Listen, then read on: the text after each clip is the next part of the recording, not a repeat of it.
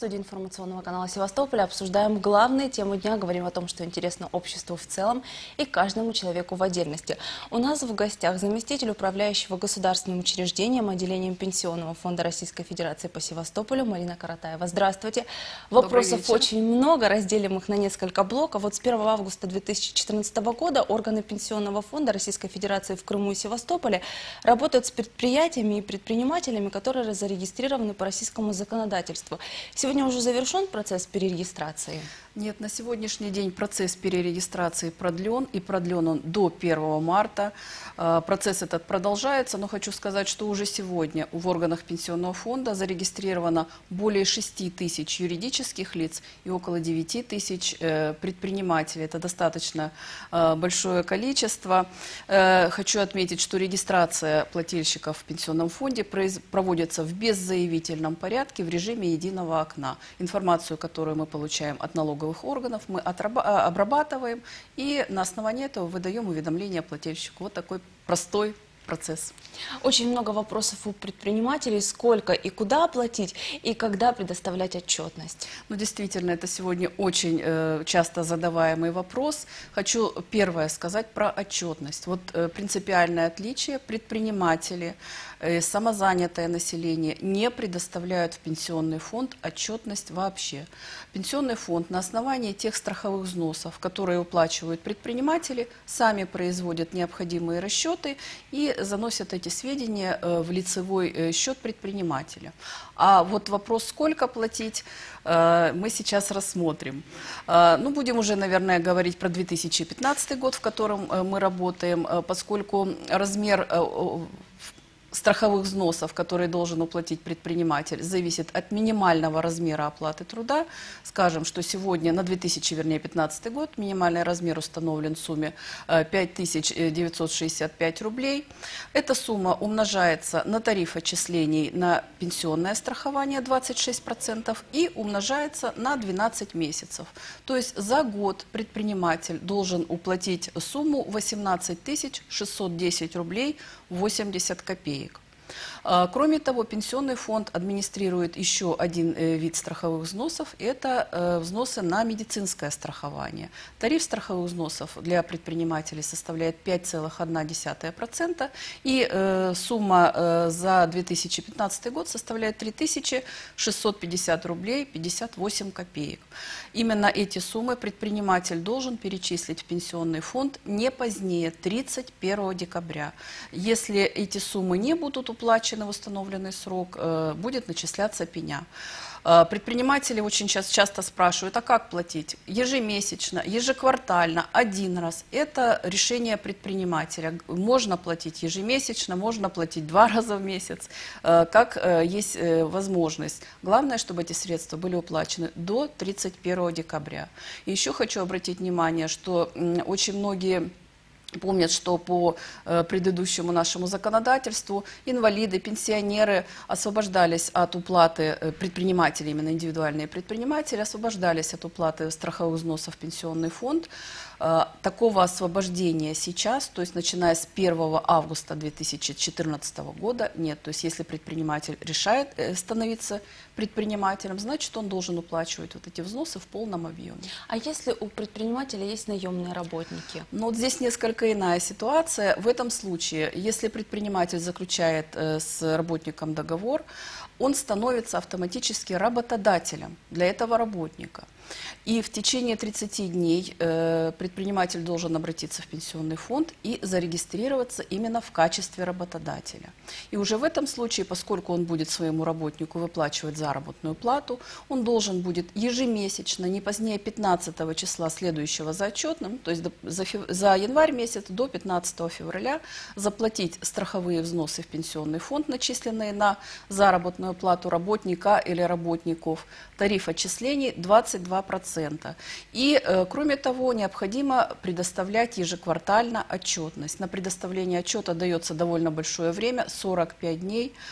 А, Поэтому за первый квартал, например, э, отчет должен быть э, сдан не позднее 15 мая. Это касается не только предпринимателей, а всех работодателей. Вот такие вот нормы э, заложены в законодательстве. Вот основные обязанности работодателя, в чем они заключаются? Основные обязанности как раз и заключаются в том, чтобы своевременно начислять заработную плату, своевременно исчислять страховые взносы, уплачивать их в установленные сроки и, э, соответственно, предоставлять отчетность, потому что на основании э, отчетности, которую предоставит работодатель, э, уплаченные суммы страховых взносов будут разнесены по лицевым счетам каждого работника предприятия. И в дальнейшем эта информация э, будет использована для начисления пенсии. Это очень важный такой серьезный момент. А возникали ли проблемы при предоставлении отчетов?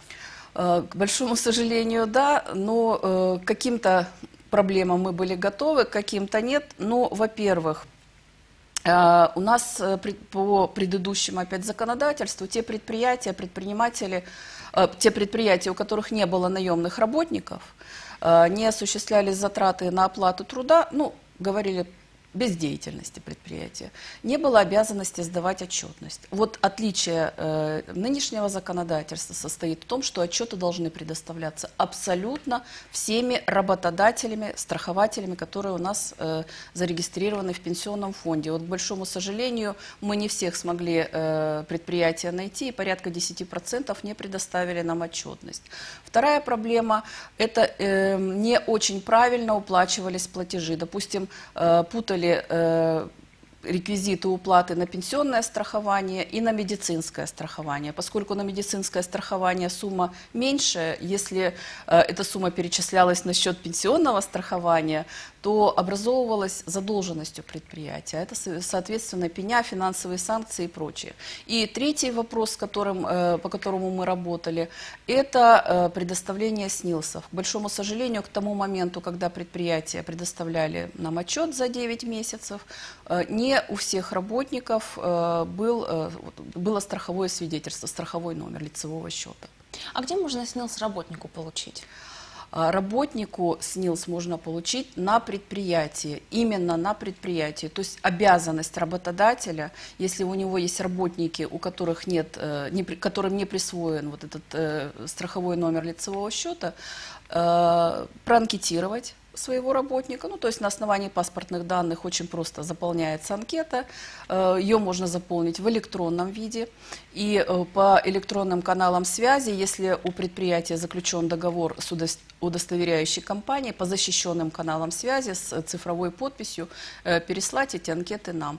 Если нет такой возможности, то представитель работодателя может обратиться в пенсионный фонд по месту регистрации, и э, предоставить лично эти анкеты. Но подчеркиваю, что это обязанность работодателя э, проанкетировать своего работника. После того, как мы изготовим страховые свидетельства, мы вернем работодателю, и работодатель выдаст э, своему работнику это страховое А вот свидетельство. Насколько сегодня активно работодатели проходят это самое анкетирование? А, Ну, поскольку мы эту работу ведем достаточно давно и упор делали э, в части работников именно на предприятие, порядка 40%, можно даже сказать более 40% анкет нам были предоставлены именно работодателями. То есть достаточно плотно, активно мы э, с ними общаемся в этом вопросе. А остальные 60%? А, По законодательству все э, лица, проживающие в Российской Федерации, э, всем лицам должен э, быть присвоен этот э, страховой номер индивидуального лицевого счета СНИЛС. А, Это касается и пенсионеров, это касается и детей, э, которые рождаются э, сейчас, подростков. У нас сейчас налажена очень активно работа с органами ЗАГС. Вот, допустим, э, те детки, которые родились, э, начиная с 1 августа 2014 года и по 21 э, января 2015 года, это порядка двух с половиной тысяч, Э, Мы уже получили от ЗАГСа информацию, и нет необходимости обращаться в пенсионный фонд с документами на оформление этого страхового свидетельства, а можно просто после 2 февраля уже будет обратиться и получить э, это страховое свидетельство в пенсионном фонде. Оно уже готово. Но вот хочу подчеркнуть, что самое, э, самое интересное, ну, мо- может, это и традиционное, самые активные у нас это пенсионеры, потому что на сегодняшний день э, страховой, э, э, страховое Свидетельство. свидетельство да, получили уже порядка 96% наших пенсионеров. Который раз будем брать с них пример. Совершенно верно. Возвращаясь к вопросу получения СНИЛ с работниками, а вот может ли работодатель отказать в приеме на работу при отсутствии страхового свидетельства? Не имеет права. У нас действительно обращались э, работники предприятий э, с такими вопросами, что их не берут на работу. В этом случае работодатель обязан принять человека на работу, оформить, э, вот как я говорила ранее, анкету, передать эту анкету в пенсионный фонд, и пенсионный фонд уже э, страховое свидетельство э, изготовит самостоятельно и выдаст работодателю. А вот если СНИЛС нет у одного работника, сможет ли предприятие предоставить отчетность? Нет, не может. И э, поясню почему. А, потому что предприятие, э, когда сдает отчет, он формирует э, э, страховые взносы э, по каждому работнику, начисленные в зависимости от его заработной платы. И, и, кроме того, сдается сводный отчет, то есть сводный отчет по предприятию. Персональные данные э, без э, этого страхового номера сформировать невозможно. И э, невозможно будет в программный комплекс нести эти сведения и разнести по лицевым э, счетам в целом по предприятию эти суммы страховых взносов. Поэтому э, возможности предоставить, если хотя бы у одного работника сегодня нет страхового свидетельства, у предприятия не будет. Ну а мы, соответственно, не сможем э, принять э, этот отчет. А не- дальше, соответственно, будут последствия. А вот если отчет не предоставлен по этой причине в установленный срок, то какие санкции можно применить к работодателю?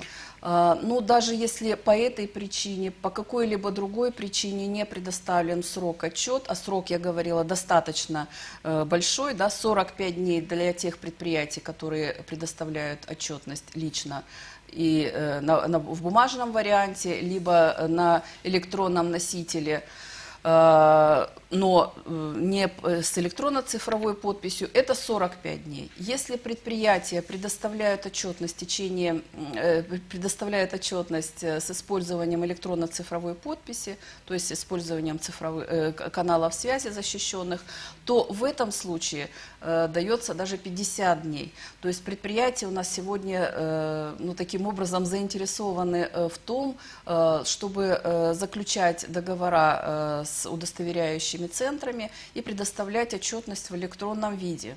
Э, Если даже в этот срок отчетность не была предоставлена, Э, В этом случае э, мы применять будем плательщику штрафные санкции. Штрафные санкции достаточно большие. Это 5% от суммы начисленных страховых взносов в отчете за каждый э, период э, задержки э, предоставления Отчетности. отчетности, но не более 30%.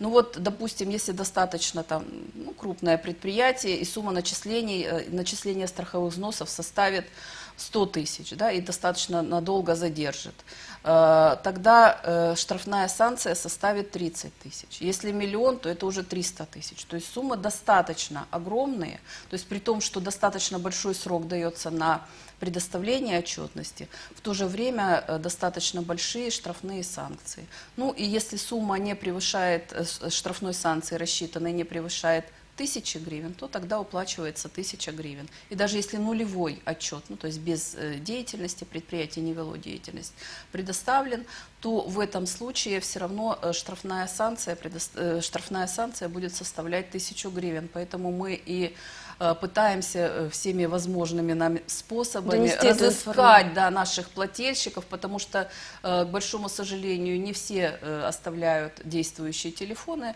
Э, Какие-то телефоны, мы регистрацию, по сути дела, начинали еще в мае месяце плательщиков, поэтому какие-то телефоны в регистрационных данных еще э, украинской э, МТС, и поэтому разыскать ну, практически невозможно многих плательщиков. Поэтому вот э, так такое большое внимание мы уделяем этому вопросу, потому что со штрафными санкциями сталкиваться, ну, я думаю, ни плательщикам, ни нам не хочется. Мало того, еще к руководителю в этом случае применяется административный штраф. То есть мы составляем протокол, передаем эти документы в суд, и уже судом э, принимается решение о том, э, на какую сумму привлечь к административной ответственности руководителя. В общем-то, начинаем, э, можно сказать, что с чистого листа, поэтому, конечно бы, не хотелось нам э, свою работу начинать вот э, с таких не очень приятных вещей. Марина Геннадьевна, у нас очень мало времени, практически мы уже должны заканчивать. Где получить всю необходимую информацию? Вы предоставили нам компетентный комментарий, а вот людям где можно найти эту информацию? Я могу сказать телефоны. У нас сегодня работают четыре в каждом из районов клиентские службы, и в эту клиентскую службу необходимо предоставлять отчетность и обращаться плательщикам. Я э, назову телефоны.